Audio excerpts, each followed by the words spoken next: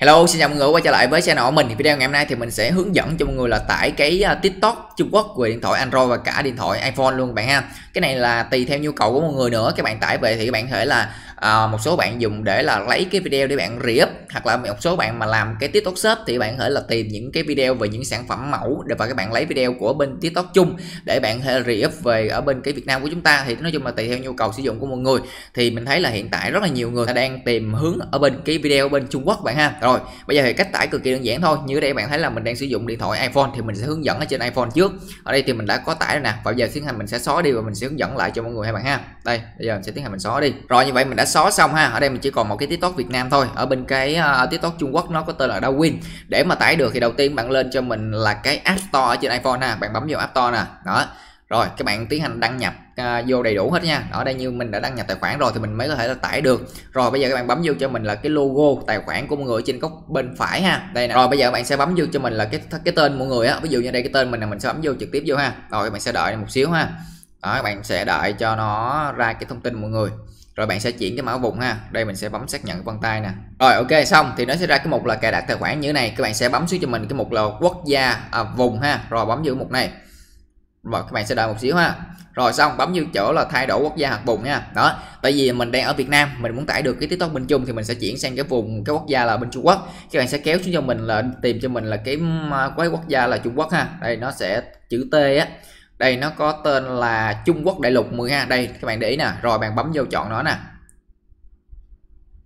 Rồi, xong, bạn bấm vô chữ là đồng ý trên góc này bạn ha rồi bấm chữ đồng ý một lần nữa nè. Rồi các bạn sẽ đợi cho nó chuyển cái, uh, cái quốc gia nha. Rồi xong bây giờ tới cái phần này thì bạn sẽ chọn xuống cho mình là cái mục cuối cùng đây á là nó yêu cầu là thêm cái phương thức thanh toán mình không cần bấm vô cái hàng cuối đây không nè. Rồi rồi tới cái phần là ở dưới đây thì bạn điền cho mình là cái họ tên người điền sao cũng được. Nó điền nói chung điền bừa cũng được. Rồi bây giờ tới cái hàng đầu tiên thì bạn cứ nhập bừa vô cho mình ha. Nói chung là nhập sao cũng được. Ví dụ như là đây nè đó nhập vô hai cái hàng à, cái hàng thứ hai bạn vẫn nhập tương tự như vậy ha. Rồi tới cái hàng thứ ba thì cái này là cái kiểu như là cái à, nơi ở thì các bạn cứ ghi bừa đi ha. Ở đây ví dụ như mình ghi là đây. Rồi tới cái hàng thứ tư là cái mã vùng. Cái mã vùng ở bên Trung Quốc là các bạn nhập cho mình là 100 ngàn vậy ha. Đây có bạn nhập vô đúng 6 số 100 ngàn vậy ha. Đó rồi xong. Rồi tới cái hàng ở dưới là đâu đó hình như là cái địa chỉ đường thì bạn cứ ghi làm sao ghi ghi bừa cũng được. Đó các bạn ghi kiểu như mình cũng được ha. Đó rồi tới cái hàng ở dưới hàng ở dưới thì bạn bấm vô. Rồi các bạn nó sẽ có những cái này nè. Các bạn cứ chọn ở đây mình chọn cái thứ hai đi ha. Rồi bạn chọn vô. Rồi đó ở đây mình chọn cái thứ hai xong ha. Rồi xong bây giờ mình sẽ um, tới cái phần cái cuối cùng là cái số điện thoại. Số điện thoại thì bạn nhập làm sao đủ 10 số là được ha. Ví dụ như đây mình nhập là à, 0 1 2 3 4 5 6 7 8 9 đó rồi xong. Thì các bạn sẽ bấm vô cái chữ tiếp theo ở trên góc nè. Bấm vô rồi đó thì như vậy là lúc này bạn thấy là cái ngôn ngữ ở trên cái App Store đã chuyển sang hoàn toàn sang tiếng Trung. Thì lúc này bạn vẫn nhận được cái thông me cái cái email thông báo là cái, cái ờ, quốc gia thay đổi gì đó. Rồi các bạn đừng lo các bạn chuyển qua đây xong để bạn tải thôi. Thì như vậy các bạn tiến hành bạn bấm vô cái chỗ là cái ô tìm kiếm dưới góc nè. Rồi bạn nhập cho mình là cái từ khóa có tên là Darwin ha. Đó nè D O U I dài y ngắn N. Rồi xong bấm chữ tìm. Đó rồi là được thì nó sẽ ra ngay cái tiktok nè. Thì các bạn để ý nè nó sẽ có khá là nhiều thì bạn chọn đúng cho mình là cái này nè. Đây nè cái mà đánh giá là hiện tại thì đánh giá là năm sao nè và có lượt tải nhiều nhất nè bạn ha. Còn cái dưới đây là cái không phải nha nhớ đúng cái này. Rồi chỉ cần bấm vô cái mũi tên. Đó, bấm vô tải về là được thôi bạn ha. Đó tải về thì các bạn có thể là mở lên bạn sử dụng như bình thường ở đó như vậy là mình đã xả tải xong rồi này bạn ha. Đó, tải xong thì mình sẽ thoát ra ngoài màn hình cho mọi người xem đây. Đó, thì ngay lúc này cái tiktok trung quốc nó đã có trong cái iphone rồi. Rồi, bây giờ tiếp theo đó thì mình sẽ hướng dẫn cho mọi người quay về cái quốc gia việt nam ở trên cái app store nha mọi người nha. Rồi, các bạn vẫn truy cập lại cái thông tin như ban đầu. Đó, các bạn bấm vô cho mình là cái thông tin cá nhân của mọi người trên góc phải nè. Rồi, ở đây bạn bấm vô cho mình là cái thông tin của mọi người ha. Cái tên mọi người bấm vô.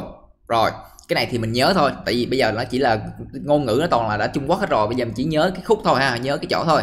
Rồi, tới cái hàng này thì bạn bấm xuống cái một, cái hàng thứ hai giúp mình nha. Đây là cái hàng thứ hai, bấm vô hàng thứ hai. Rồi, các bạn sẽ đợi một xíu ha. Chúng ta nói chung là chúng ta làm tương tự như vậy ha. Bấm vô là thay đổi quốc gia nè. Rồi, bây giờ tới cái quốc gia này ừ thì nó có ngôn ngữ không à? Thì các bạn kéo xuống, cuối cùng giúp mình, kéo xuống hết luôn. Rồi xong thì mình nhớ là cái quốc gia Việt Nam là nó đứng từ thứ bảy từ ở dưới điểm lên các bạn cứ điểm mà được. Hoặc là bạn nào mà à, có cái điện thoại thứ hai thì bạn lấy ra các bạn lên cái Google dịch á các bạn chụp ảnh bạn quét là nó sẽ tự động scan như tiếng Việt cho người thay xem. Thì mình nhớ nó là thứ bảy từ dưới điểm lên cho nên mình điểm ha. Ở mình điểm lên. Là một hai ba bốn năm sáu bảy. À cái thứ bảy là cái hàng này ngay cái nút home nè và mình sẽ chọn nó vô. Đó các bạn nhớ kiểm tra nhớ đúng nha. Rồi đó lúc này thì mình thấy nó chuyển sang tiếng việt là ok là chính xác là tiếng việt rồi đó ha. Mình bấm chữ đồng ý ở bên trên nè rồi bấm chữ đồng ý lần nữa. Rồi đó. À, bạn đã sẽ đợi xíu ha. Rồi tới lúc này cũng tương tự như vậy ha. Mình sẽ chọn là cái không nè. Nó không cần nè ha. Rồi tới thông tin tên họ nhập vô. Rồi tới cái đường. Thì cái mình cứ ghi giống như bừa luôn như giống như lúc nãy được ha. Đó hai hàng đầu tiên cứ ghi như vậy ha. Đó rồi thành phố nè. Tiếp mã zip mã zip thì bạn nhập làm sao đủ 6 số được ha. Hỏi ví dụ như là à, 122 à, rồi đó hai ba hai sáu số rồi tới cái điện thoại. Điện số điện thoại thì bạn cứ nhập vô một hai ba bốn năm sáu bảy tám chín. Đó rồi xong bấm chữ tiếp theo. Ha, số điện thoại bạn nhập đủ 10 số. 10 số là được. Nếu như số nào nó báo lỗi không được thì bạn cứ nhập cái số khác. Rồi thì ngay lập tức là cái App Store mình á là nó đã chuyển về tiếng Việt rồi ha. Đó là nó đã chuyển về vùng quốc gia Việt Nam rồi. Thì lúc này bạn hãy là test thử nào ví dụ như mình tìm kiếm là TikTok đó thì nó sẽ ra như bình thường thôi bạn ha. Đó rồi bây giờ các bạn hãy là mở lên đây nè. Nó cái tiktok chung bạn hãy là mở lên các bạn sử dụng bình thường. Nhưng mà cái này các bạn sử dụng không cần tài khoản nha và vẫn ok bình thường thôi. Đó. Đây nè đó mình mình cứ tiến hành mình tắt nó đi ha. Đó rồi mình cứ vô mình sử dụng bình thường thôi mọi người.